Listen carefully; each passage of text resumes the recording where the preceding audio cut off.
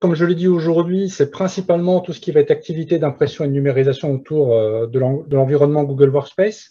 Alors, le, la raison pour laquelle on a créé ce webinaire, en fait, euh, nous, on a pris le virage de, travailler sur des solutions euh, d'impression et de numérisation dans le cloud depuis une, plus grosse année, on va dire, hein, depuis fin 2019.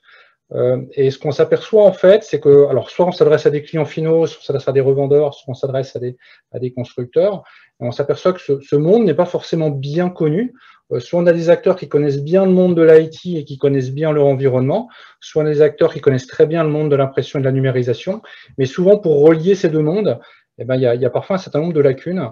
Euh, bah, donc l'idée, c'était ben, de partager un peu, à force de notre expertise, de, de rebalayer un peu ce qu'était ce marché, ce monde de l'impression et de la numérisation, de le partager avec vous, et puis de voir après si ça peut vous, vous aider, vous motiver euh, à travailler sur ce genre de, ce genre de sujet. Hein.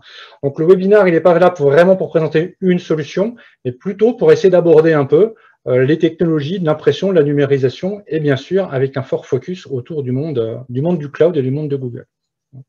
Alors, pour, adresser ça, euh, et par rapport à ce que je viens de vous dire juste là, la manière dont j'ai abordé la chose, c'est de, revoir un peu l'histoire de comment est, est, géré avant et encore aujourd'hui euh, ben, les infrastructures, les architectures, les solutions autour euh, de ce monde-là, hein, et de voir aujourd'hui avec l'arrivée et le renforcement de tout ce qui est technologie cloud et, et toutes, les, toutes, les, technologies, notamment autour de l'espace de travail de collaborateurs, de voir ben, quels sont les impacts potentiels et voir quels sont les types de solutions qu'on peut commencer, sur lesquelles on peut commencer à réfléchir et aborder.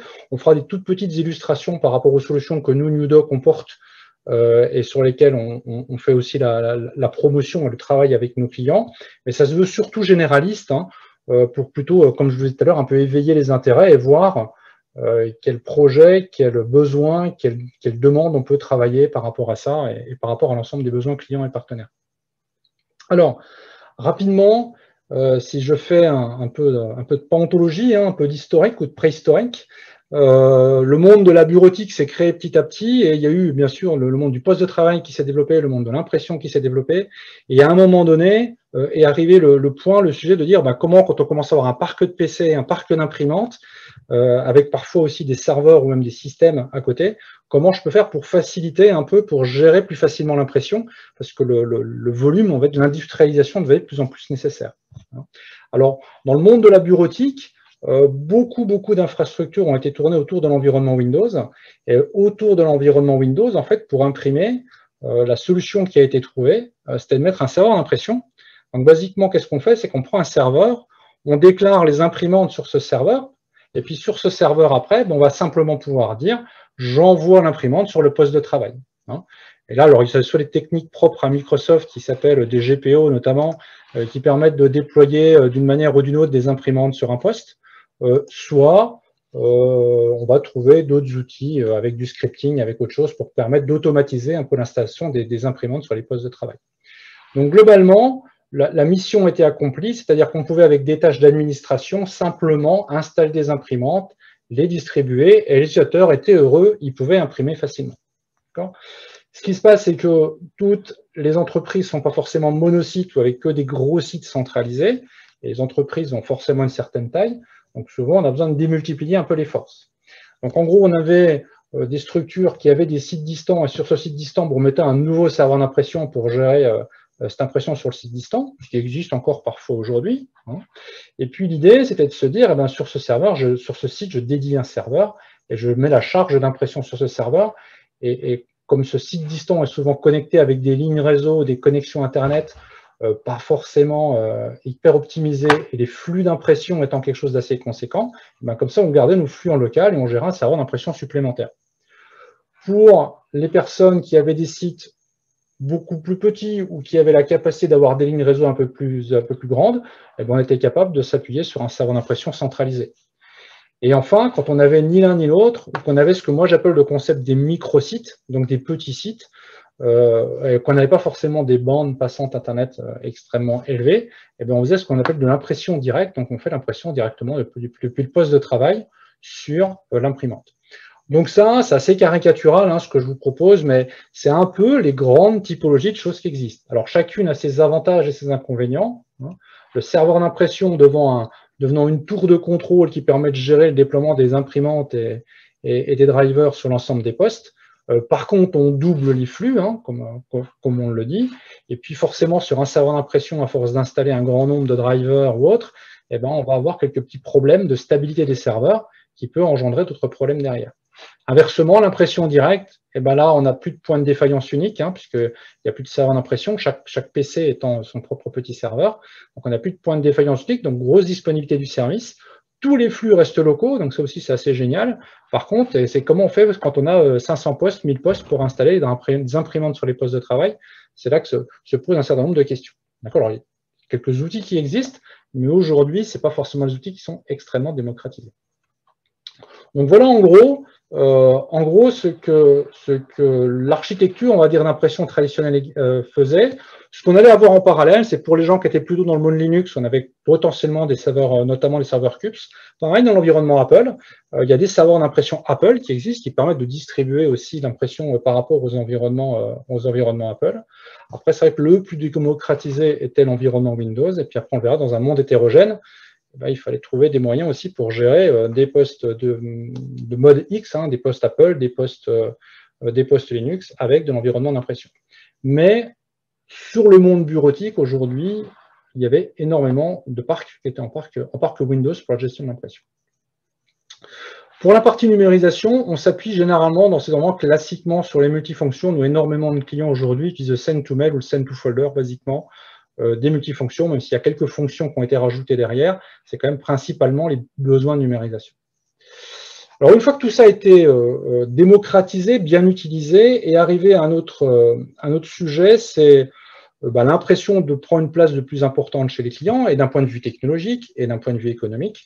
Et donc, il été ressenti un besoin de mieux contrôler et de mieux gérer l'impression. Hein. Donc, ce qui est arrivé, c'est que en plus de, ces technologies qui ont été mises en place, eh ben, on a développé un certain nombre de solutions. Alors, quand je dis on, c'est les éditeurs hein, du marché. On a développé un certain nombre de solutions. La solution, en fait, venant souvent se mettre par-dessus l'infrastructure d'impression existante. Hein. Donc, on prenait nos savoirs d'impression, on rajoutait une brique de solution dessus, on rajoutait une petite base de données pour stocker toutes les informations relatives à l'impression, et puis, comme ça, on avait notre solution. Donc, elle permettait quoi? Elle permet de s'identifier sur un multifonction, de faire les fonctions que vous connaissez sûrement, qui s'appellent d'impression différée, ou d'impression readme, ou de follow me, ou de pull printing. Donc, en fait, c'est je n'imprime plus directement, je mets en rétention, j'imprime plus tard. Hein, ça me permet de gérer de la confidentialité, d'éviter du gâchis, des choses comme ça. Donc, ça permettait de contrôler un peu mieux, maîtriser les flux d'impression. Et puis, comme on avait un outil centralisé, ben, on met tout dans une base de données, puis on est capable de faire des statistiques. Hein. Et puis, autour de ces fonctions de base, de statistiques et puis d'impression retenue et d'impression contrôlée, on, imagine assez facilement les, autres technologies qu'on a pu mettre en place, hein, comme la gestion de règles d'impression pour changer un peu dans la manière dont les gens etc. etc. Mais l'idée principale étant de remettre sous contrôle, sous maîtrise et d'apporter du service un peu plus à valeur ajoutée euh, par rapport à une entreprise, aux utilisateurs et aux gestionnaires de, l'entreprise pour contrôler un peu tout ça. Et on retrouvait le schéma traditionnel, c'est-à-dire que si j'ai un site distant, eh ben, soit ce site distant, je peux utiliser euh, ma solution centralisée que j'ai mis sur un serveur d'impression centralisé pour imprimer. Et puis quand je ne peux pas le faire, pour les mêmes raisons que je vous ai évoquées tout à l'heure, eh ben, soit on est capable de mettre des serveurs distants et on fait un maillage de serveurs avec souvent un serveur maître, des serveurs esclaves, et ça permet de contrôler aussi les sites distants. Et puis si je ne peux pas mettre de serveurs, certaines solutions, alors pas toutes, mais certaines solutions permettent de gérer le flux d'impression sur le poste de travail, et là on se résout principalement nos problèmes de, de flux. D'accord? Avantages inconvénients, c'est à peu près les mêmes que ce que je vous ai cité précédemment. Euh, ce qui va peut-être améliorer un petit peu les choses, c'est que dans ce cadre d'évolution, euh, généralement dans les entreprises, c'est fortement associé à une rationalisation de parc. Hein, où on arrive sur des, ce qu'on appelle des contrats généralement MPS, où un, client va rationaliser un parc. Donc, quand on rationalise un parc, ça veut dire qu'on a moins d'équipements, potentiellement moins de modèles. Donc, nous, ça veut dire technologiquement moins de drivers. Donc, si on a moins de drivers, sur les serveurs d'impression, on va gagner un peu en stabilité. Comme on n'aura plus qu'une file d'impression unique, comme on fait de l'impression retenue, alors on peut en avoir plusieurs aussi, mais généralement on essaie de se limiter, et eh ben ça fera moins d'efforts de déploiement aussi sur les postes de travail. Donc on va commencer à optimiser un petit peu, mais on reste euh, sur une infrastructure comme ça avec un ou de multiples serveurs d'impression pour, pour gérer l'ensemble de la solution, et on garde quand même un certain nombre de contraintes. Euh, et pour la partie numérisation, bah, soit on va s'appuyer sur la partie envoi numérique des machines, hein, des copieurs ou des MFP, soit on pourra, certaines solutions, commencer à apporter des capacités à centraliser et à piloter la numérisation directement depuis la solution logicielle. en gros, on utilise plutôt le moteur du scanner des équipements et c'est la solution logicielle qui va faire un certain nombre de traitements, donc d'envoi vers les destinations, d'OCR ou de petites choses comme ça, qui vont permettre de traiter du document. Donc ça, c'était la première évolution, euh, l'évolution principale euh, qui, est apportée. Ce type de contexte, c'est assez souvent ce qui existe chez les clients aujourd'hui. Alors, soit le contexte précédent sans solution pour des clients qui n'ont pas encore, pour des raisons qui leur appartiennent, mis en place de solutions, et la majorité des clients aujourd'hui ont quand même une solution en place qui permet de gérer euh, contrôler ses impressions. Des fois, elle est isolée sur un ou deux sites, un peu sur l'ensemble de l'entreprise, mais la, majorité des clients aujourd'hui ont, adopté cette typologie de solution. Alors, une fois qu'on est à ce niveau-là, qu'est-ce qui se passe depuis, euh, depuis quelques années et qui a été aussi euh, extrêmement renforcé avec la crise sanitaire qu'on vient de connaître, c'est que ben, même si on commence à bien maîtriser l'environnement, il y a une donnée extérieure qui arrive assez forte qui est cette, cette cloudisation, on va dire, hein, ce passage dans le cloud euh, d'un certain nombre d'infrastructures. Et les gens passent dans le cloud, c'est notamment pour euh, asseoir, on va dire, un peu tout ce qui est transformation numérique de l'entreprise, euh, pour être capable de mutualiser un certain nombre de, de, ressources. Et puis, et puis surtout, ça permet de, de, revoir, de revisiter un peu la manière dont on travaille, parce que le, bon, la pandémie qu'on a connue, on connaissait déjà ce contexte déjà un peu avant, on est en train de changer un peu les organisations du travail ou un collaborateur va être capable de travailler de chez lui, depuis un espace de coworking, depuis un hôtel, euh, depuis une visite client, et puis bien sûr, de temps en temps, dans les locaux de l'entreprise. Hein. Donc, on voit qu'on a un marché qui évolue avec des, des, espaces de travail qui sont en train d'évoluer, et le cloud permet d'avoir des ressources disponibles pour l'ensemble des collaborateurs, quel que soit le lieu de travail. Hein. C'est une pas la seule, mais c'est une des raisons qui favorise aujourd'hui le déploiement euh, du cloud dans un certain nombre d'organisations. Et quand on va parler un peu de, Google Workspace, ben, on, va être là-dedans, c'est-à-dire que Google propose des environnements de travail pour des collaborateurs qui vont être capables d'être en itinérance et d'optimiser un peu comme ça l'accès euh, aux ressources, aux applications que voudra mettre l'entreprise à disposition pour faciliter la vie des utilisateurs. Alors qu'ils soient nomades ou pas d'ailleurs, mais la nomadie, où, le changement d'endroit de, travail accélère ou requiert beaucoup plus ces environnements, euh, cloud. Alors, j'ai une petite, erreur d'animation, mais ce n'est pas bien grave. Donc, si on regarde un peu euh, ce qui se passe aujourd'hui généralement dans une infrastructure, c'est que euh, la, la, partie, quand on regarde un peu ce qui se passe classiquement dans une architecture on-premise, on a un annuaire qui est généralement l'Active Directory ou autre annuaire LDAP. On a généralement un annuaire qui est l'Active Directory quand on passe dans un environnement Google Workspace, on va travailler sur un autre type d'annuaire, euh, qui est un annuaire qui est un Google Directory ou du, cloud maintenant, hein, du cloud AUD, euh, qui vont permettre de gérer les identifiants utilisateurs et de gérer aussi l'ensemble des ressources de l'entreprise. Donc ça, c'est un premier changement qui va être fait avec, dans les cas de migration hybride, une capacité à synchroniser les deux. Beaucoup de messageries, euh, alors certaines restent encore en premise, mais aujourd'hui beaucoup de messageries se sont passées dans un mode, dans un mode cloud. Hein dans un mode infogéré. Et quand on va parler de l'environnement Google Workspace, on va bien sûr parler de Gmail, hein, qui est sûrement une, des messageries aujourd'hui les plus connues au monde, et qui permet euh, aujourd'hui de distribuer la messagerie et d'utiliser la messagerie au sein des outils de travail collaboratif. En mode on-premise, euh, on avait pour le partage de fichiers, soit des fichiers dits dossiers personnels, hein, qui sont les, soit les home directory pour ceux qu'on occupait, ou des dossiers personnels qu'on crée au utilisateur d'une manière ou d'une autre, ou des systèmes de dossiers partagés, euh, qui sont alors, des serveurs de fichiers, souvent qu'on partage par service, par type de projet, etc. Et le serveur de fichiers est un des premiers outils aujourd'hui pour partager des documents. Hein. vient derrière un certain nombre d'outils JET pour ceux qui, se sont équipés en outils JET, mais globalement, en mode bureautique, le serveur de fichiers reste un, bon moyen de partager des documents. Ben, quand on va arriver sur un environnement euh, Team Google, eh ben, on va avoir du Drive pour tout ce qui va être espace personnel. Donc, chacun aura son espace dans le cloud qui sera personnel dans ce il pourra mettre ses documents. Et puis, quand on va être en mode plutôt partage, plutôt équipe, on aura du Team Drive ou du Share Drive, où ce sera un, espace, pareil, qu'on pourra partager avec un certain nombre d'interlocuteurs, qui soient des interlocuteurs internes dans l'entreprise ou externes dans l'entreprise, et ça permettra comme ça de partager les documents sur lesquels on travaille. Donc, quand on a dit ça, ça veut dire que bah, nos référentiels utilisateurs sont un peu différents. la messagerie reste de la messagerie, et puis les espaces de partage de documents sont aussi un peu différents. Et donc, on va devoir s'adapter à ce contexte. Si je vais sur la partie impression, euh, ben, on avait l'impression traditionnelle, généralement à base de serveurs d'impression euh, dans le monde on-premise, plutôt classique. Quand on passe sur un, alors je m'excuse pour les petites heures d'animation, mais quand on passe sur un environnement Google, alors Google a eu euh, pendant un certain temps une technologie qui s'appelle Google Cloud Print, hein, qui est une technologie qui permettait de dire je déclare des imprimantes dans mon espace cloud Google, ces imprimantes, je peux leur donner accès à mes utilisateurs, donc ils peuvent imprimer depuis leur poste de travail euh, au travers de ces imprimantes déclarées dans leur espace cloud à eux. Et puis derrière, c'était renvoyer l'imprimante, alors soit directement sur l'imprimante pour les imprimantes qui étaient compatibles Google Footprint, soit au travers d'un poste de travail. Donc ça, c'est une technologie que mettait Google à disposition, qui a arrêté en début d'année, hein, en, janvier, euh, en janvier de cette année, enfin en décembre de l'année dernière, pour être plus précis. Et donc, depuis janvier de cette année, il n'y a plus cette technologie Google Cloud Print. Et aujourd'hui, en fait, il n'y a rien de base, on va dire, concrètement, dans l'OS euh, ou dans la technologie pour imprimer. Et aujourd'hui, on va devoir s'appuyer sur les technologies tiers pour être capable d'imprimer depuis les environnements Google. Alors, ce qu'on sait faire aujourd'hui, hein, je vous en reparlerai un petit peu, on sait faire l'impression directe depuis certains équipements sur euh, sur les, équipements d'impression.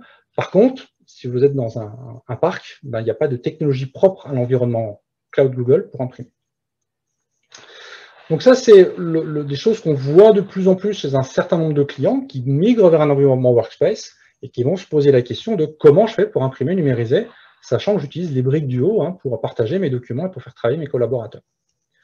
Ensuite, en complément de tout ça, on va avoir potentiellement des clients, et c'est souvent le cas, qui vont utiliser d'autres applications que les applications propres à celles que fournit Google. Donc, vous avez tout un tas d'outils qui vont être aujourd'hui de plus en plus cloudisés. Euh, on va accéder pour avoir son CRM, sa gestion co, euh, ses outils de support, etc., etc., son outil de ticketing, par exemple. Donc, tout un tas d'applications qui vont être achetées hein, ou louées par les entreprises, ou où il y aura des abonnements aux entreprises, et on va devoir faire travailler ces applications avec les utilisateurs. Donc, on va devoir, à un moment donné ou à un autre, utiliser les annuaires pour permettre à euh, ces utilisateurs d'accéder à ces applications. Alors, il y aura souvent deux modes de fonctionnement. Soit le client s'appuie directement sur l'annuaire Google et on fait ce qu'on appelle du SSO avec les applications. Donc, c'est directement ce système de SSO qui permet, en utilisant son identifiant Google, de s'identifier sur la solution. Ou on voit de plus en plus apparaître des outils qui s'appellent des gestionnaires d'identité, ou des IAM, hein, si on prend les termes anglophones, euh, Identity and Access Manager. Et ces gestionnaires d'identité, bien sûr, travaillent avec l'annuaire local, hein, avec la, Google Directory, mais vont permettre, en fonction d'un certain nombre de critères, eh ben, de donner des droits d'accès à un certain nombre d'applications, d'ailleurs, que ce soit externes ou internes, hein, et vont permettre de gérer les identités et les accès. Et donc, euh, ça, va être, ça va devenir ces gestionnaires d'identité. Alors, pour ceux qui sont un peu familiers, c'est des outils comme Okta, comme OneLogging, hein, des, outils qui ont vraiment fédéré euh, l'ensemble des entités des accès de l'entreprise. Donc ça veut dire aussi qu'à un moment donné, dans la réflexion autour des architectures d'impression et de numérisation, euh, bah, pour les clients qui seront passés sur ce type de technologie, il faudra peut-être l'intégrer aussi dans la réflexion autour de ces solutions. Donc ça, c'est l'écosystème, le nouvel écosystème sur lequel on travaille, hein, c'est-à-dire d'être capable de fournir et d'aider, quand on parle de capture de documents ou d'impression, d'être capable de travailler ce type d'environnement. On va rajouter un autre point, c'est que euh, les équipements des utilisateurs aujourd'hui sont de plus en plus divers. Hein. Et dans une même entreprise, on peut avoir très diversifié. C'est-à-dire qu'on n'a pas euh, que les entreprises Windows, que les entreprises Apple, que les entreprises Chromebook, etc. etc. Enfin, nous, en tout cas, c'est ce qu'on constate sur le marché. On a de plus en plus d'entreprises qui ont des postes diversifiés euh, pour différentes raisons hein, et, qui utilisent différents types d'équipements. Donc, ce qu'il faut aussi être capable d'intégrer maintenant, c'est que quand on va proposer une solution à un client, il faut être capable d'imprimer depuis cet environnement divers. Donc ça, c'est une donnée qu'on intègre. Les clients, généralement, pour piloter ces équipements, pour des raisons à la fois de facilité de gestion et à la fois euh, de comment ça s'appelle? À la fois de sécurité. Il y a de plus en plus d'outils de pilotage des équipements qui se mettent en place. Alors, ce n'est pas le sujet du jour, je veux juste l'aborder rapidement. Mais globalement, l'idée, c'est quand même d'avoir des outils logiciels qui permettent de contrôler ces équipements et d'aller jusqu'à déployer des outils logiciels aussi sur ces équipements. Donc ça aussi, c'est des choses qu'on doit intégrer. Et quand on parle de l'environnement Google Workspace, eh ben on peut, avec un Google Admin, par exemple, déjà gérer un certain nombre d'équipements. La particularité principale qu'on aura dans l'environnement Google, c'est les Chromebooks. Euh, les, alors je, pour ceux qui sont des spécialistes Google, excusez-moi pour ma, vulgarisation, mais globalement, euh, l'idée qu'a Google et la technologie qu'ils mettent en avant, c'est de simplifier au maximum le poste de travail. Quand vous prenez un Chromebook, pour être caricatural, j'ai un micro OS avec un, Chrome, un navigateur Chrome qui est dessus. Donc je vais utiliser un poste de travail et dans lequel l'outil principal, ça va être le navigateur. Et avec ce navigateur, eh ben, je vais pouvoir faire mon travail du quotidien. C'est-à-dire que je vais pouvoir euh, consulter des applications en me connectant dessus en mode web, euh, éditer mes documents qui seront dans mes espaces Drive, par exemple, hein, avec du Google Sheet, avec du Google Doc, avec euh, du Google Slide, etc., etc. Donc, je vais pouvoir travailler directement avec mon navigateur, accéder à l'ensemble de mes applications, accéder à l'ensemble de mes outils bureautiques que met Google à ma disposition pour pouvoir travailler dessus. Par contre, je vais avoir un hardware qui va être très léger. Euh, je vais avoir un OS dessus qui va être très léger. Donc, en plus du navigateur de type Chrome, par exemple, eh ben, dans l'OS, il y a un petit mécanisme qui permet d'imprimer, hein, qui s'appuie sur un petit serveur CUPS pour les, gens plus technophiles autour de la, visio. Il y a un, micro, un petit serveur CUPS qui est dans un Chromebook qui permet déjà de faire un fichier imprimé, d'imprimer sur un, équipement qui est autour de soi, euh, contenu dans l'environnement Google. Et typiquement, ces Chromebooks, et eh ben, comment ils vont être gérés? Ils vont être gérés ben, généralement par la plateforme Google Admin, déjà pour les référencer, pour les manager et pour être capable de déployer un certain nombre d'applications qu'on pourra mettre sur les Chromebooks pour pouvoir gérer derrière. Donc, vous verrez pourquoi tout à l'heure, je vous parle un peu de ces technologies, mais l'idée est quand même de bien de d'une particularité de l'environnement euh, Google, c'est de pouvoir travailler avec des Chromebooks et de par la spécificité des Chromebooks au niveau des technologies globales, eh ben, l'impression va en faire partie. C'est à un moment donné, quand on voudra re-rentrer dans ce côté que j'expliquais tout à l'heure de maîtrise, de contrôle, de gestion de l'impression, eh ben, il va falloir avoir des technologies peut-être un peu particulières pour travailler autour des environnements type Chromebook. Mais les clients souvent n'auront pas que des Chromebooks, ils auront potentiellement des post Windows, des post Mac, euh, des, euh, des, smartphones à côté pour pouvoir continuer à travailler et potentiellement aussi imprimer et numériser. Donc ça, c'est vraiment les deux sujets importants migration dans le cloud, et puis des équipements de plus en plus diversifiés chez les clients. Donc si je synthétise, euh, aujourd'hui, quand, il y a des migrations dans ces environnements, euh, il, y a, quand même quelques besoins clés qu'on peut référencer, et quand on regarde surtout par rapport au monde, au marché de l'impression, c'est que premièrement, bah, tous ces espaces qu'on va mettre à disposition collaboratifs euh, des, des, comment, des employés ou des utilisateurs avec euh, leurs X équipements potentiels euh, qu'ils peuvent utiliser et les X lieux dans lesquels ils peuvent travailler, et eh ben, à un moment donné, le MFP doit devenir exactement comme un portable ou comme un smartphone ou comme un Chromebook, et être capable d'accéder à l'ensemble des espaces et de travailler à l'ensemble des espaces. Donc ça, ça va être un sujet euh, qui va être de plus en plus présent. C'est quand j'arrive dans mon espace collaboratif au bureau, dans mon espace partagé, j'arrive devant un MFP et comment je peux faire pour facilement me connecter à mes différentes ressources. Ça va être aussi de faciliter potentiellement tout ce qui va être dématérialisation du document, hein, parce que la transformation digitale, ça veut bien dire d'être travaillé sur du numérique. Donc, quand on a notamment des documents physiques, comment je les transforme en numérique? Et avec un numérique intelligent, hein, pas juste une image, mais potentiellement faire un peu de traitement documentaire derrière. Et puis enfin, notamment vis-à-vis de l'impression, mais aussi vis-à-vis de la numérisation, c'est de repenser les infrastructures, parce que quand on migre tout dans un environnement euh, cloud public, hein, comme un environnement workspace, on va devoir se poser notamment la question de quel est l'intérêt de garder des serveurs d'impression Quel est l'intérêt de garder une infrastructure d'impression full on-premise Et ça, ça va être un vrai sujet euh, de discussion. Alors, je ne dis pas qu'il faut ou qu'il ne faut pas, hein, mais ça va être un vrai sujet de repenser euh, ce type d'architecture. Donc ça, ça va être souvent les trois points euh, d'échange et de dialogue qu'on va avoir avec les clients sur les projets qu'on va travailler. Ensuite, les clients sont tous différents, les infrastructures, les entreprises sont toutes différentes, donc il n'y a, pas de, a pas de vérité hein, quelque part. Chacun aura forcément sa propre vérité. En gros, euh, il y a des euh, clients qui restent très cloud privé, donc qui ne souhaitent pas euh, avoir de cloud mutualisé, c'est des hébergeurs euh, qui mutualisent justement ces environnements. Donc, ils ont soit leur propre data center, soit ils ont des espaces réservés dans des, data centers mutualisés. C'est plutôt ce que j'appelle du cloud privé, qui est assez proche du monde on-premise, hein, finalement. Et là, on aura deux typologies de besoins, soit des clients qui vont fermement décider de tout contrôler et de garder un environnement toujours proche du on-premise, même si c'est dans un cloud privé, soit des clients plutôt qui se disent l'impression, la numérisation, c'est pas forcément mon cœur d'activité, donc cette brique-là, j'accepte de la mettre dans un cloud public. Donc ça, ça va avoir deux approches différentes par rapport à cette typologie d'infrastructure client.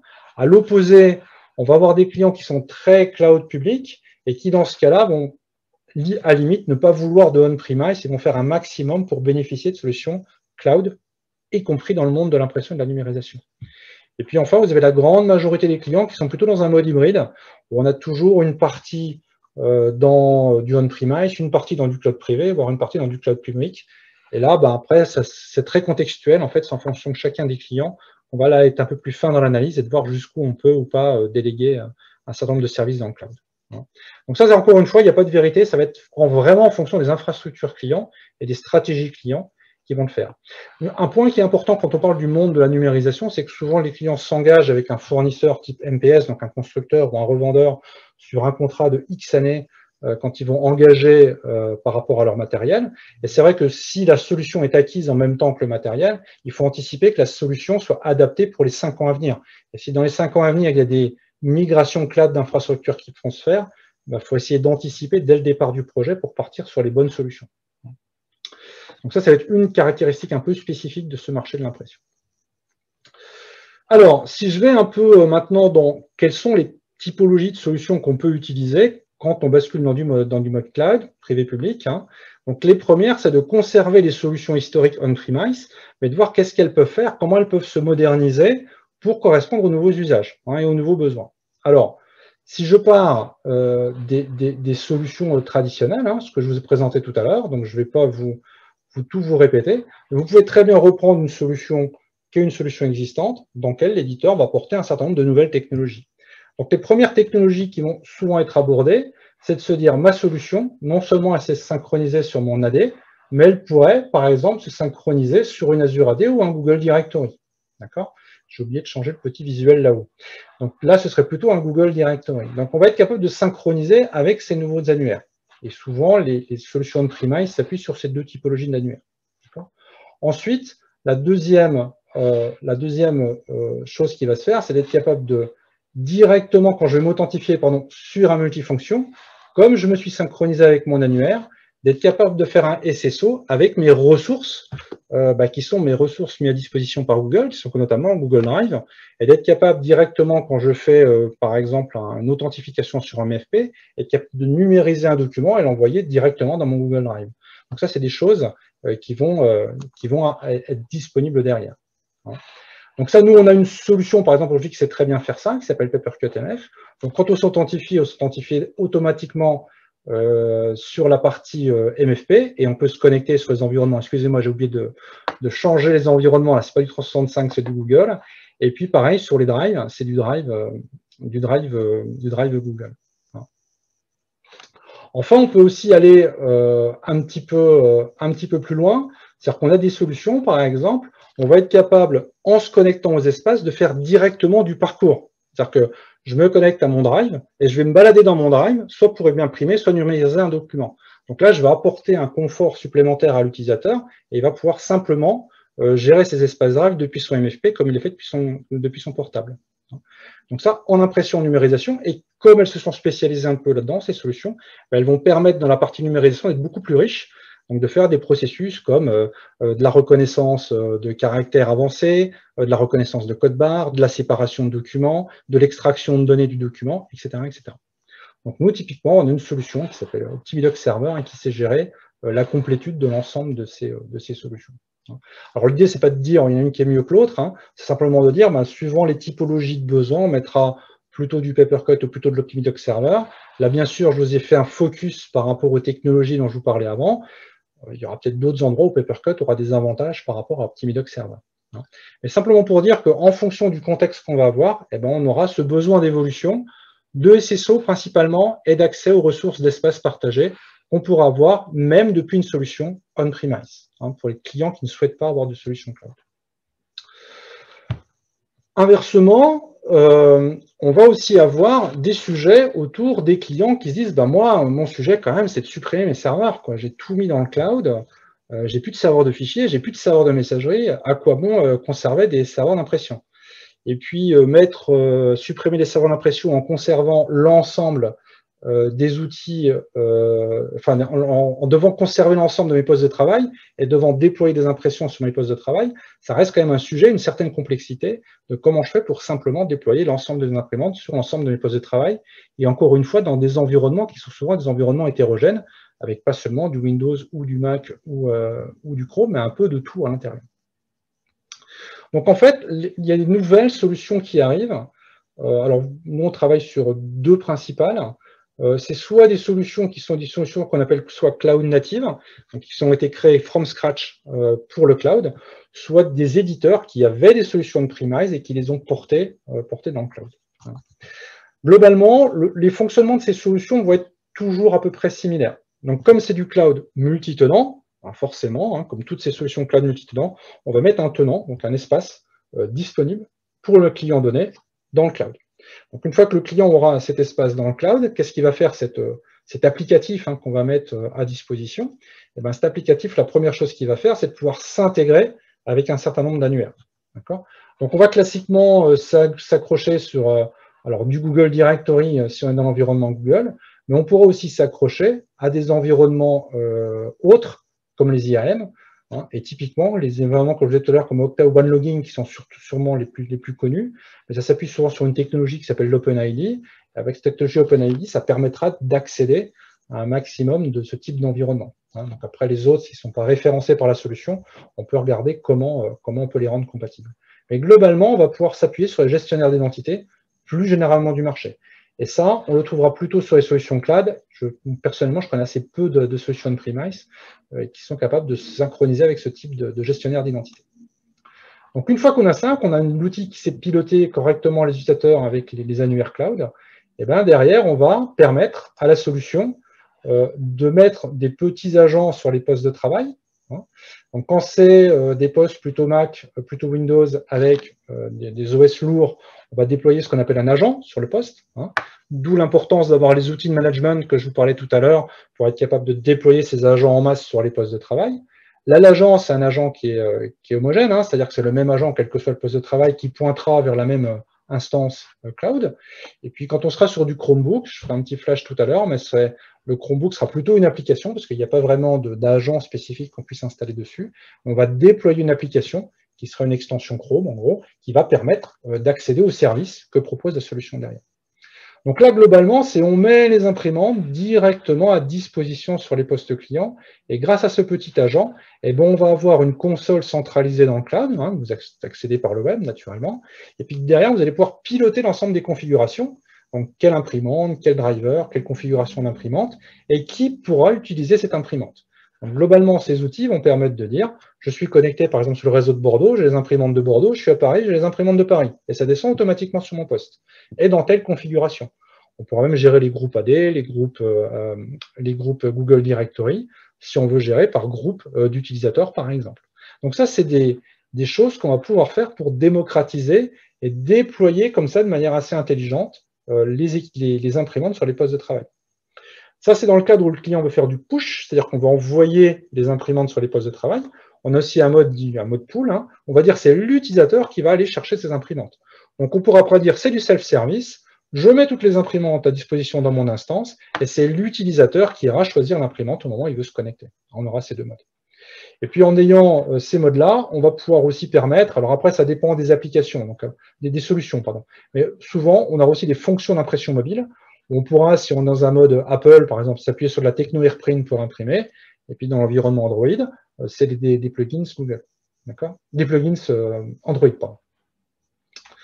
Donc Google, ouais, pardon. Et du coup, une fois qu'on a installé tout ça, eh ben, les gens peuvent imprimer, quand je dis les gens, c'est les utilisateurs, peuvent imprimer directement sur les équipements. Et vous voyez la mécanique, c'est on déclare tout dans le cloud, automatiquement ça descend sur les postes de travail et on peut imprimer directement. Donc là, je vais complètement m'affranchir d'une infrastructure traditionnelle que j'ai aujourd'hui qui s'appuie sur des serveurs d'impression. Et ça, ça va et faciliter la gestion et réduire les coûts, on va dire, d'infrastructure qu'on peut avoir en interne. Une fois qu'on a ça en place, et eh bien, bien sûr, on va pouvoir aller un peu plus loin Là encore, je vous parle de manière très générale, hein. chaque solution a ses particularités, mais généralement, on va retrouver deux modes. Soit on pourra libérer à partir de son smartphone. Donc ça, c'est quelque chose qui se démocratise de plus en plus, parce qu'on a de plus en plus de smartphones en entreprise. Hein. Alors que ce soit des, smartphones mis à disposition de l'entreprise, ou que ce soit les propres smartphones des utilisateurs qui vont utiliser pour pouvoir imprimer, mais c'est quelque chose qui commence à se démocratiser de plus en plus. Donc, ce n'est pas euh, exceptionnel aujourd'hui qu'on puisse dire dans une entreprise, ben, vous pourrez libérer votre job en utilisant directement une application qui sera sur votre téléphone. Et puis, bien sûr, plus traditionnellement, on va mettre un système d'authentification sur le MFP, mais là, ça demandera à la solution d'être compatible marque par marque, hein, de supporter un certain nombre de marques pour être capable de le faire. Le smartphone, on peut le faire sur tout type de marque. Et là, on va mettre un système d'authentification avec du code ou du badge, où les gens vont pouvoir se permettre de se connecter sur le MFP pour pouvoir aller libérer les travaux qu'ils auraient mis en attente, hein, tout simplement. Et en faisant cette partie connexion, là encore une fois, il peut y avoir des petites variantes en fonction des solutions et des constructeurs, mais ce système d'avoir une authentification par code et par badge sur le multifonction permettra d'utiliser cette fonction pour utiliser les autres fonctions du copieur, comme contrôler la copie, comme contrôler les envois numériques. Donc ça, c'est la méthode qui fonctionne aujourd'hui pour, pouvoir imprimer. Alors pour les gens un peu plus technophiles et un peu plus architecture, euh, vous, pourriez me poser la question, si ce n'est pas déjà fait, euh, de dire, eh ben, ce multifonction, comment il fait pour communiquer avec l'instance cloud aussi? Parce que ce n'est pas forcément euh, naturel dans une machine, il n'y a pas les composants pour aller discuter directement avec l'application A, B ou C.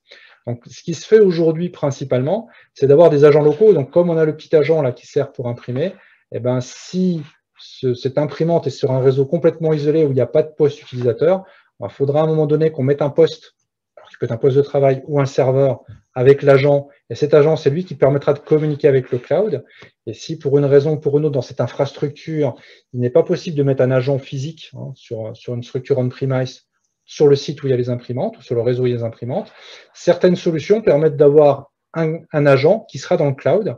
Et cet agent qui sera dans le cloud, donc il faudra bien sûr que l'instance cloud qui héberge cet agent puisse communiquer avec l'imprimante. On pourra utiliser une instance cloud qui fait une espèce de proxy, en fait, qui permettra de communiquer avec l'ensemble des imprimantes du réseau. Donc là, c'est dans le cas où vos imprimantes sont sur des réseaux isolés et qu'il n'y aurait aucun poste de travail, donc euh, Mac ou euh, Windows, qui permettent de travailler avec l'imprimante. Donc là, on va se retrouver avec une infrastructure sans serveur d'impression. Hein. On va automatiser au maximum le déploiement des imprimantes et on va pouvoir s'intégrer avec euh, ben, toute l'infrastructure moderne, on va dire, que ce soit les annuaires ou autres euh, types de technologies derrière. Donc là, je ne vais pas vous répéter parce que je voulais commenter un peu euh, pendant ma présentation. Moi, je ne vais pas vous, vous répéter l'ensemble des choses que je vous ai dites. Mais globalement, ce qu'on va voir, c'est que après la numérisation, là aussi, pour l'instant, elle va s'appuyer principalement sur l'équipement, parce que souvent ces solutions cloud qui gèrent l'impression gèrent exclusivement l'impression et ne gèrent pas la numérisation en tant que telle. Donc là, on se rassure sur la partie euh, constructeur euh, pour gérer la partie, la partie envoi numérique vers mail ou vers folder. Nous, on a trois solutions, alors qui sont trois solutions différentes. Hein.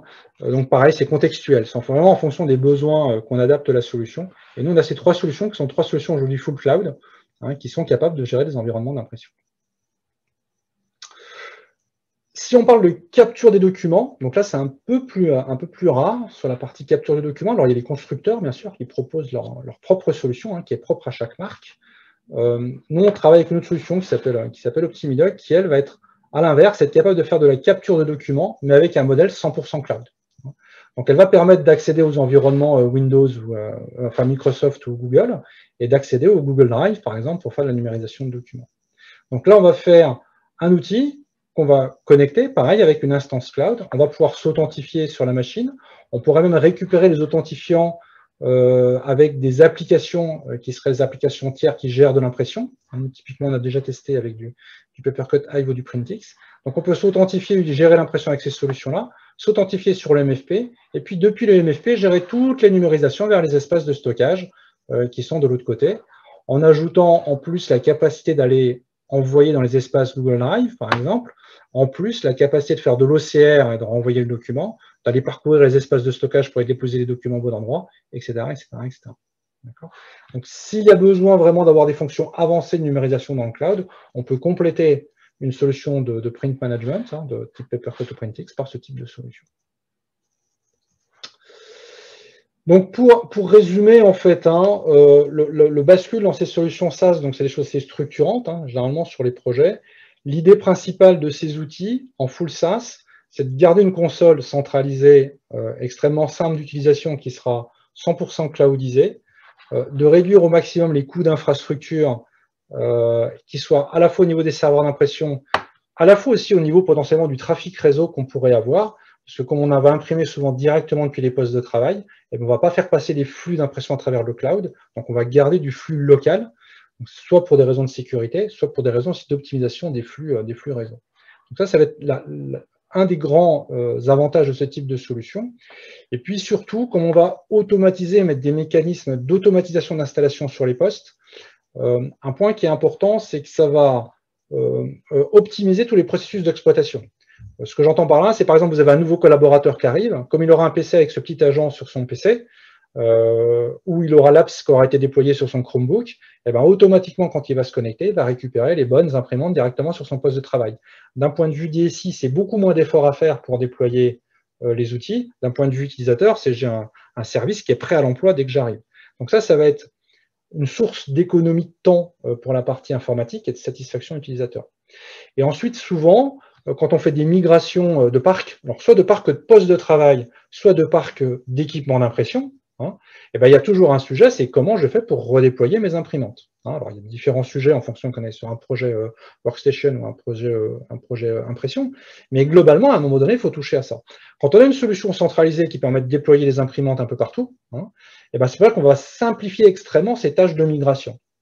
Je passe d'un constructeur A à un constructeur B, par exemple, je garde la même solution, je remets à jour mes drivers, je redéploie les imprimantes directement sur les postes de travail, et je peux même supprimer les anciennes, imprimantes euh, les anciennes imprimantes qui étaient installées. Donc, je peux trouver des mécanismes comme ça pour supprimer les anciennes imprimantes, remettre les nouvelles et gérer ça de manière automatisée, centralisée. D'accord? Ce qui n'existe pas euh, généralement aujourd'hui avec les solutions plutôt on-premise.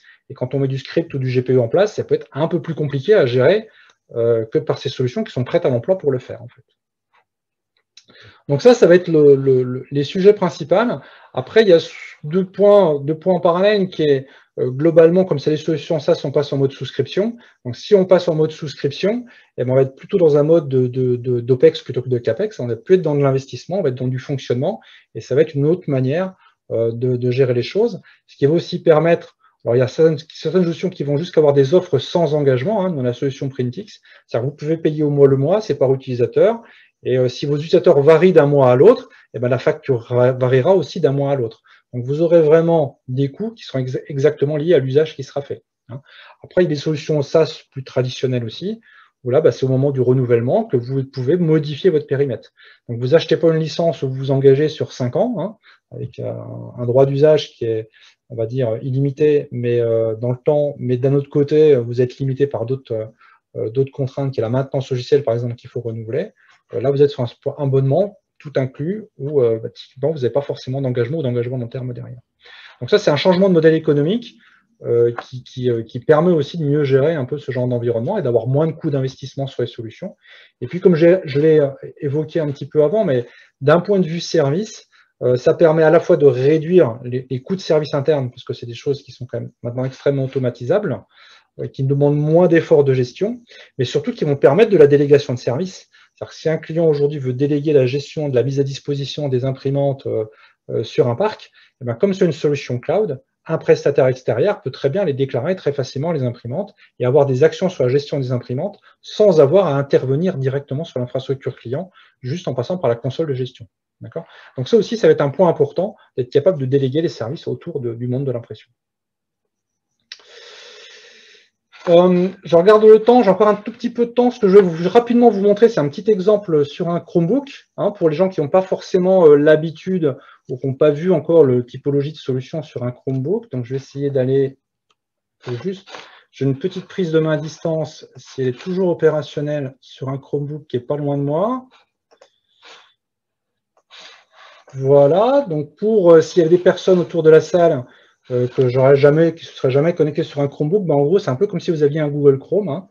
Vous vous connectez sur une interface en bas d'une barre de menu, et puis euh, derrière, on va avoir euh, notamment tout ce qui va se passer au niveau de la navigation. On peut faire un peu tout ce que vous voulez, hein, vous accédez à vos paramètres et autres, et puis vous pouvez accéder à des applications X, Y, Z. Là, j'accède au, au, Chrome Web Store, par exemple, pour installer une application. vous avez votre Google Maps, et puis vous allez sur n'importe quelle application hein, que vous pourriez avoir. D'accord? Donc là, je ne vais pas vous faire une démo de ce que c'est faire un Chromebook, mais simplement pour vous projeter si vous n'avez pas l'habitude, c'est vous vous connectez sur une machine, vous avez votre login, votre PodPass, hein, votre login Google, et vous accédez directement à cette interface. Quand on imprime de base qu'on n'a pas de solution sur un Chromebook, souvent ça se passe comme ça. Donc là, je vais faire un CTRL-P. Euh, je vais arriver et je vais disposer d'un certain nombre d'imprimantes. Donc là, forcément, vous voyez les imprimantes que j'ai installées sur la solution. Mais aujourd'hui, un Chromebook est capable de découvrir soit automatiquement des imprimantes, vous pouvez cliquer dessus et imprimer. Donc là, c'est les imprimantes qui sont autour de vous, hein, sur votre réseau local. Soit vous avez une fonction d'ajout d'imprimantes, donc on peut ajouter directement les imprimantes sur son Chromebook. D'accord? Euh, que l'utilisateur peut faire lui-même s'il est administrateur de son, de son Chromebook. Donc ça, c'est le moyen traditionnel d'imprimer quand on a un Chromebook. Donc ce n'est pas une solution qui est vraiment sous contrôle, hein, parce qu'on laisse les gens imprimer un peu comme ils veulent.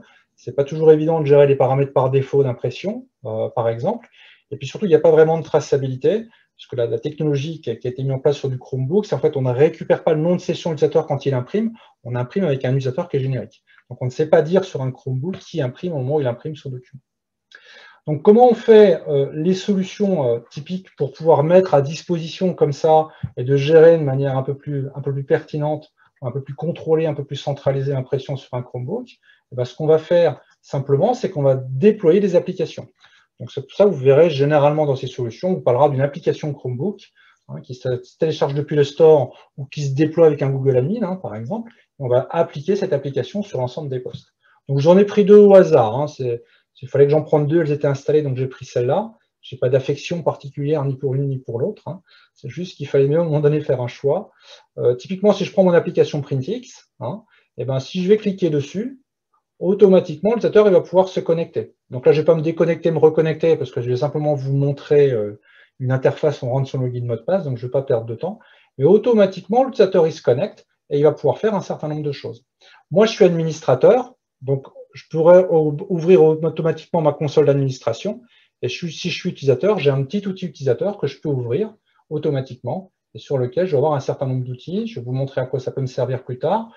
Vous typiquement, moi j'ai mis un travail en attente, donc j'ai un job en attente que je pourrais imprimer euh, dessus. Et puis j'ai des, petits, euh, des petites choses pour gérer, euh, par exemple, mes codes, mes badges, si jamais je fais de la pression retenue, j'aurai mon petit historique, je peux voir les impressions que j'ai à disposition, je peux changer ma langue, par exemple, si je veux parler anglais, etc. Donc ça donne un petit client Printix, un accès direct à un petit client Printix, mais surtout ce que ça va m'apporter, quand je vais faire imprimer, eh ben, c'est que dans mes destinations, donc là vous voyez toutes mes imprimantes bien sûr, et j'ai plusieurs solutions, mais vous voyez ces quatre imprimantes avec le petit logo Printix, eh ben, c'est quatre imprimantes que j'ai installées et qui ont été déployées automatiquement, mises automatiquement à disposition parce que j'ai cette interface Printix et que j'ai configuré moi, mon instance cloud pour qu'elle me mette à disposition sur mon réseau local ces quatre imprimantes. Donc j'ai des imprimantes qui sont des imprimantes, ce que j'appellerais une impression directe. Hein, c'est là une Epson et une HP, par exemple, qui sont en impression directe. Donc si je clique dessus, hein, bah, c'est assez basique. Hein, je vais avoir un menu d'impression Google. Je vais pouvoir changer mes paramètres d'impression. Et puis si je fais imprimer, bah, ça envoie le document et ça imprime. Donc là, rien de magique. Et puis vous allez avoir des impressions dites, euh, ce qu'on appelle des impressions retenues donc ça s'appelle Print Anywhere, hein, dans, la solution PrintX, et eh ben, je vais simplement choisir mon, document, et là, je vais imprimer. Donc là, automatiquement, ça va mettre le document en rétention, et puis je vais pouvoir le récupérer derrière. Donc vous voyez, il, a, il est apparu dans ma liste de documents, hein, j'en ai un en plus. Et puis quand je vais vouloir libérer mon document, donc là, je vous le fais euh, directement depuis mon navigateur, mais je pourrais avoir la même application, et j'ai la même application sur mon téléphone portable hein, pour le faire. Là, je vais continuer ma démonstration depuis le navigateur parce que c'est plus simple. Et eh ben, Là, je vais choisir mon job. Soit j'ai mon imprimante par défaut qui est faite et puis je peux imprimer dessus. Hein, je clique imprimer, ça imprime à l'impression. Soit je pourrais aller choisir une autre imprimante qui sera à ma disposition pour aller imprimer. Donc là, c'est l'administrateur qui dira sur quelle imprimante, quand je suis connecté à cet endroit, je peux libérer mes impressions. Si j'étais sur un téléphone, ce que je pourrais faire aussi en plus, je, peut-être, euh, je vais voir si je peux vous le, montrer avec mon, téléphone qui a dû passer en mode veille. Donc là, je suis sur un petit téléphone portable. Hein. J'ai ma petite application Printix, pardon. J'ai ma petite application Printix que je vais lancer. Donc la même chose que je vous ai montré sur le PC tout à l'heure. Donc le temps qu'elle se lance, je vais retrouver, euh, si je suis connecté avec le même utilisateur, oui, je suis connecté avec le même utilisateur, donc j'ai les mêmes jobs. Et si je choisis, je vais pouvoir euh, imprimer mon document. Je vais pouvoir choisir dans une liste, comme je vous l'ai montré tout à l'heure. D'accord? Et je pourrais aussi, si j'avais mis un code barre ou une puce NFC devant mon téléphone, bah, je pourrais aller numériser ce code barre ou cette puce, et ça me reconnaîtra automatiquement l'imprimante et ça m'imprimerait directement. Donc ça, c'est des choses qu'on peut faire assez facilement. Déployer des imprimantes sur un Chromebook. Le Chromebook peut imprimer. Quand le Chromebook est imprimé, je peux aller soit faire de l'impression directe, soit libérer directement depuis mon téléphone sur l'imprimante de mon choix. J'aurais pu avoir aussi une petite application dans mon imprimante, et puis euh, je m'aurais passé un coup de badge devant mon imprimante, et je pourrais aller libérer mes jobs directement comme ça. Donc après, suivant les contextes, suivant ce qu'on faut faire, on peut avoir cette, liberté. Alors simplement, là, je vous ai montré une solution simplement pour vous en montrer une autre. Hein. Vous voyez que vous allez voir que le, mécanisme à peu près différent, à peu près pareil, pardon. Après, des implémentations peuvent être un peu différentes en fonction des, solutions. la logique va être souvent la même. Là, si je prends mon Papercut Hive, hein, pour ceux qui n'ont pas entendu parler, Papercut Hive, c'est la version cloud de Papercut qui est aujourd'hui dispo en version anglaise et qui sera dispo en version française à partir de, septembre-octobre de l'année prochaine, de, cette année après les vacances, pardon. Ben là, typiquement, c'est pareil, je vais installer une petite apps.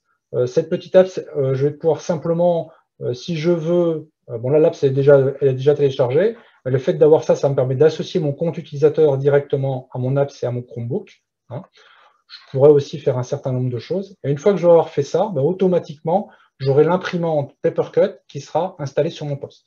D'accord? Donc, on va donner un moyen assez simple à l'utilisateur. Généralement, on va lui envoyer un mail, il va cliquer sur le mail, il va arriver là, il pourra télécharger l'app si elle n'a pas été précédemment euh, téléchargée ou déployée avec Google Admin, et puis il va associer automatiquement son compte utilisateur, parce que le mail lui est personnel, bien sûr, et c'est censé qu'on va associer comme ça son compte utilisateur on va lui dire aussi en même temps comment il pourra installer une app sur son, téléphone portable, puis après on lui plus qu'à imprimer. Une fois que ça c'est fait, eh ben pareil, hein, quand on va faire CTRL-P, et eh ben là on va retrouver son imprimante euh, Papercut qui va être déclarée euh, dans la liste des imprimantes derrière. Donc la particularité, par exemple, par rapport à la solution précédente, le choix qu'a fait Papercut aujourd'hui, c'est de dire je fais que de l'impression retenue, donc très orienté plutôt impression bureautique. Je fais exclusivement l'impression retenue, donc il n'y aura pas d'impression directe, hein, comme je pouvais le faire précédemment, et j'aurai qu'une seule imprimante déployée sur le poste. Donc là, je l'ai sur mon Chromebook, je pourrais l'avoir aussi, bien sûr, sur un PC, sur un Mac ou sur un, autre type d'équipement. Et quand je vais choisir cette, chose, ben, cette imprimante, et ben, automatiquement, pareil, hein, je vais pouvoir faire les réglages, alors qui sont des réglages toujours euh, très liés à l'environnement Chromebook, et puis derrière, je vais imprimer mon document. De la même manière, je vais avoir sur mon téléphone une petite application qui s'appelle euh, l'application Papercut. Oui, il y a un petit 1 qui s'est affiché parce que maintenant j'ai un nouveau job qui est en attente. Je clique dessus, je vais voir mon job, d'accord? Je vais pouvoir choisir ce job et je vais pouvoir l'imprimer. Et quand je vais vouloir euh, l'imprimer, euh, c'est pareil, je vais pouvoir choisir mon imprimante dans une liste. Hein. ça, c'est les petits icônes que vous voyez en haut. Soit sinon, il y a un peu les mêmes mécanismes. Soit sinon, je vais pouvoir aller scanner un QR code ou aller si j'ai du NFC sur mon téléphone, aller détecter une puce NFC qui va me dire sur quelle imprimante il doit libérer, libérer automatiquement le document. Donc à peu près même philosophie pour la libération par téléphone. Et puis bien sûr, si j'ai des marques compatibles, je pourrais installer des embarqués et je pourrais libérer automatiquement en me connectant avec un badge ou un code. Donc simplement pour vous dire, euh, cette petite illustration, c'est que même dans un environnement Chrome OS, on peut arriver à avoir des fonctionnalités qui sont assez proches euh, des environnements euh, clients lourds, hein, Windows ou macOS, et avoir une distribution d'imprimantes automatiquement sur les postes de travail, qu'elles soient en mode direct ou en mode retenu, et de générer de l'impression comme ça directement derrière. J'en ai terminé pour euh, ce petit exposé. Euh, je regarde l'heure, j'ai juste 5 minutes d'avance, donc je ne sais pas s'il y a des questions par rapport à, à ce qui vient d'être dit, ou s'il y a des petits points que vous voudriez qu'on aborde encore.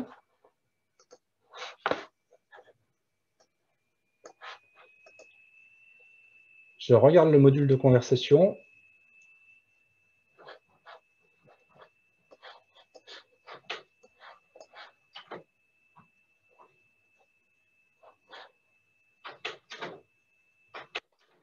Une fois, deux fois, trois fois. Donc, il n'y a pas de questions, c'est parfait. Euh, donc voilà, simplement le, ben, pour conclure, hein, euh, pour conclure l'exposé, c'est euh, ce que j'essaie de vous, de, vous mettre en exergue, c'est qu'il y, y, a quand même une révolution aujourd'hui un peu qui se passe dans le monde de l'impression en général. La migration vers le cloud euh, se fait euh, quand même depuis un certain temps. Quand on est sur le cœur de l'IT, généralement, c'est des sujets qui sont déjà traités depuis un certain temps. Alors après, ça dépend de, la maturité de chacun des clients, bien sûr. Mais en tout cas, c'est en train de toucher de manière beaucoup plus proche aujourd'hui le monde de l'impression. Il se passe pas mal de, pas mal de choses autour de ce monde-là. Et notamment, euh, cette capacité à avoir des infrastructures innovantes quand on migre sur l'infrastructure euh, type, euh, type Google Workspace. Hein. Et donc là, ce que j'ai essayé de vous illustrer aujourd'hui, et j'espère que que, j'ai pu bien réaliser cet exercice, c'est que le comment le, le, bah, suivant l'infrastructure que vous allez mettre en place, il n'y a pas forcément une solution magique aujourd'hui hein, qui conviendrait à tous les environnements. C'est pour ça que nous, on s'est mis à cœur de référencer un certain nombre de solutions. C'est qu'en fonction des contextes que vous allez avoir, eh ben, il va falloir être capable d'adapter euh, le typologie de solution qu'on va, mettre, va mettre derrière. Hein. Donc, si j'ai pu vous illustrer tout ça, j'en suis ravi. Euh, je vois une petite question qui vient d'arriver dans le, dans le chat en même temps, où on me dit ça réduit les frais d'infrastructure, mais le cloud est payant. Alors oui, le cloud est payant, hein, tout à fait. Euh, c'est pas des philanthropes, euh, je confirme. Le, donc, en fait, quand on passe dans du cloud, hein, pour simplement comparer les modèles économiques, euh, on paye un abonnement qui peut, quand on regarde des coûts directs, parfois même paraître plus cher que d'une solution on-premise. C'est vrai que si on achète un logiciel avec de la maintenance, ça peut paraître plus cher qu'un abonnement cloud. Mais quand on achète un abonnement cloud ou quand on souscrit un, souscrit un abonnement cloud, dans l'abonnement, il y a ben, le logiciel, mais il y a aussi toute l'infrastructure qui héberge le logiciel et il y a toutes les personnes derrière qui maintiennent ce logiciel. C'est-à-dire que quand on est passé dans du cloud, vous avez pu à faire vos montées de version en on-premise. Donc c'est vrai que le cloud est payant, mais globalement, comme ces ressources vont être mutualisées, hein, donc les serveurs qui hébergent les applications, les personnes euh, qui, font les montées de version, etc., sont mutualisées. Donc globalement, on arrive, même si le prix d'abonnement facial paraît plus élevé que le prix d'achat d'une solution, mais globalement, les coûts d'exploitation qu'aurait un client pour faire les installations, les déploiements, la maintenance en condition opérationnelle de la solution, la gestion de la solution au fil du temps, et eh ben, globalement, si on prend le TCO d'une solution logicielle, le coût est moins élevé quand on migre dans du cloud que quand on reste on-premise, et on bénéficie de services euh, qui sont euh, souvent pas disponibles dans les solutions on-premise. Donc ça, c'est pour pondérer un peu les deux. Question, est-ce que Papercut Hive prend les mêmes fonctions que Papercut MF Alors, pas tout à fait. C'est-à-dire qu'aujourd'hui, Papercut Hive, euh, dans la version qui existe, est, exclusivement sur la partie impression. Donc, on sait faire euh, de l'impression en mode follow me, hein, en, mode, find me, ça s'appelle chez Papercut. Donc, on imprime, mon badge, on libère. Euh, on, est nativement maintenant, on se synchronise avec, avec l'Azure AD et Google Directory. ça, c'est le deuxième sujet. la partie reporting est un peu moins étoffée que la partie reporting, hein, donc pour faire des rapports, de l'analyse de données un peu moins étoffé que, la partie Papercut MF aujourd'hui. Et la fonction de gestion des numérisations qui est dans Papercut MF aujourd'hui n'est pas encore intégrée dans, euh, dans Papercut AI. Elle le sera dans les euh, peut-être l'année prochaine, je pense. Est-ce que les solutions cloud permettent de compresser les flux? Euh, Pas particulièrement pour moi. Hein. L'idée des solutions cloud, alors après ça dépend des infrastructures et des environnements, mais c'est de garder les flux locaux, c'est-à-dire d'éviter que le flux passe par le cloud. Hein. Donc on installe le driver sur le poste de travail et le poste de travail imprime directement sur l'imprimante. Et on évite à ce que le flux aille dans le cloud, même quand on fait euh, de l'impression euh, de l'impression type follow me ou find me, c'est-à-dire que le, job reste sur le poste de travail et en fait c'est que des communications de data qu'on a entre le MFP et le cloud, le poste de travail et le cloud. Donc, c'est des flux qui sont déjà minimisés, qui sont chiffrés, bien sûr, hein, pour éviter les, piratages. Euh, mais globalement, le flux reste local. Donc, dans ce cas-là, on a moins besoin de compression de par le fait que le flux reste local. Après, on peut avoir des exceptions. Euh, aujourd'hui, la solution Printix, par exemple, avec les, Chromebooks, de par la technologie qu'ils ont développée, les flux placent quand même par le cloud. Mais globalement, sur du poste de travail, on a du flux qui reste local. Et pour répondre directement à la question, non, il n'y a pas de technologie de compression des, des datas euh, au travers de ce genre de technologie. Enfin, dans celle que moi je connais, tout au moins. Euh, non, il n'y a pas de. Alors, une deuxième question autour de Papercut. Euh, est-ce qu'on peut. La question est-ce qu'on peut imaginer une, solution hybride mixte avec du Papercut MF, donc on-premise, et du Papercut Hive Cloud? Pas aujourd'hui. Pas aujourd'hui. Euh, pour l'instant, c'est deux solutions qui sont en parallèle. Euh, il y aura certainement, je pense, l'année prochaine, des offres pour migrer de l'une à l'autre. Pour l'instant, c'est deux offres vraiment parallèles. Euh, après, je ne sais pas. Très franchement, je ne suis pas dans les secrets de Papercut, donc je ne sais pas s'ils ont imaginé une technologie où on pourrait euh, avoir un bout, de, bout on-premise euh, avec du Papercut MF et puis des, une liaison avec une instance dans le, dans le cloud Papercut Hive. Je ne peux pas le dire aujourd'hui. Je peux pas le dire aujourd'hui.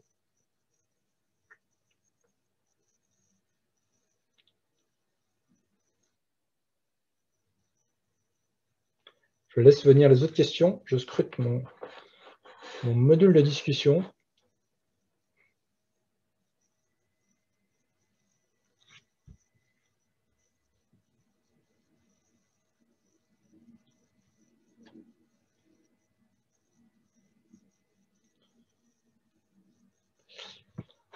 Non, bah, il n'y a, plus, a plus de questions apparemment, donc euh, bah, je, vais vous, euh, je vais vous laisser là. Je vous remercie beaucoup euh, de cette participation. Bien sûr, à votre écoute, hein, si vous avez des sujets, des projets, des interrogations, ou même si vous voulez simplement échanger ou avoir des, un partage par rapport à vos contraintes, hein, parce que là j'étais assez générique.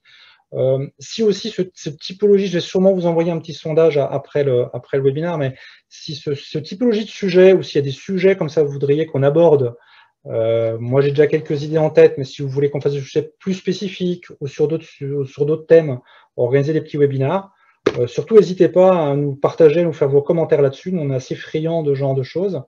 Euh, l'idée, bien sûr, c'est de, créer cette communauté, de partager et de et d'échanger autour de toutes ces technologies pour que chacun puisse y retrouver ben, ce dont il a besoin et avancer. Voilà. Merci à vous tous. Excellente journée et à très bientôt.